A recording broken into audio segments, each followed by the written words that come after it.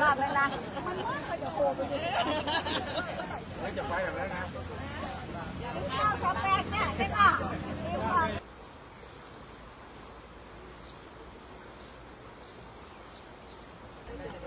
ฮะไข่ปุ๋ยไข่ปุ๋ยพี่ออสข้างในมันก็อธิษฐานนะครับ บอกไปถึง 16ชั้นฟ้า 15 ชั้นดินข้าเจ้านายนาการจันทิราชอารา หรือดินแดนไทย ประธานกลุ่มผีเสื้อกระพือปีกขออธิษฐานต่อ เทพยาดาพาฟ้าดินนะครับ องค์สมเด็จพระนเรศวรมหาราช และทหารกล้าทุกท่านนะครับข้าพเจ้า ได้จัดเครื่องบวงสรวง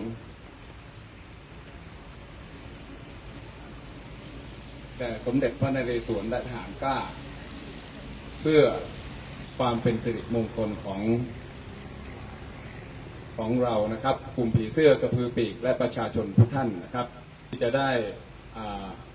ทำการเดินนะครับ เพื่อทวงถามสัญญาที่ได้ให้ไว้กับรัฐบาลนะครับและทุกๆพักการเมือง เรื่องขอให้ปรับโครงสร้างราคาก๊าซน้ำมันนะครับ ให้เท่ากับประเทศมาเลเซีย เพื่อความสุขสถาพรของพี่น้อง คนไทยทุกคนนะครับ เพื่อการอยู่รอดของทุกธุรกิจนะครับของประชาชนคนไทย เพื่อขอให้คนไทยได้รับความเป็นธรรมในราคา แก๊สน้ำมันที่แพงอยู่ทุกวันนี้ ทางกลุ่มผีเสื้อกระพือปีกขอตั้งจิตอธิษฐานว่า การทำการครั้งนี้คือเราจะเดินจากวงเวียนพระนารายมหาราช จังหวัดลบบุรีในวันเสาร์ที่ 19 ตุลาคม เดินไปจนถึงทำเนียบรัฐบาลในวันจันทร์ที่ 28 ตุลาคม ปี 2562 นี้ ดังนั้นขอให้การกระทำทุกสิ่งทุกอย่างที่ทางกลุ่มผีเสื้อกระพือปีกและประชาชนที่ได้ร้องขอเรื่องขอให้ราคาแก๊สน้ำมัน ให้เท่ากับประเทศมาเลเซียจงสำเร็จผลทุกประการ และอย่าได้มีอุปสรรค ขอให้ทุกสิ่งทุกอย่างตามทุกขั้นตอน ผ่านไปด้วยดีและมีผู้ให้ความเมตตาและอุปถัมภ์พระคะวะโตอะระหะโต สัมมาสัมพุทธัสสะนะโมตัสสะภะคะวะโตนะเรโสนาฬิโสจะจะมหาราชามหาราชา เมตตาเมตตาจะ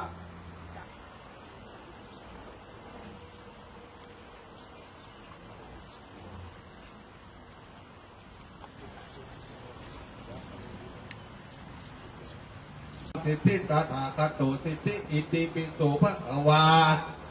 เสโรเมพุทธวันเตนราทูกูจักเรียกติปะมนถึงลูกกูจักปุ๊กติ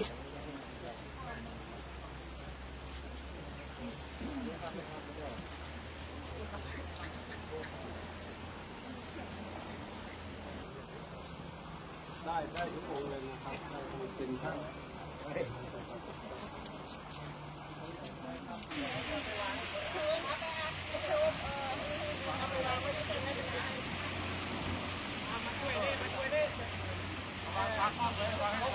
พลังงานที่เป็นธรรม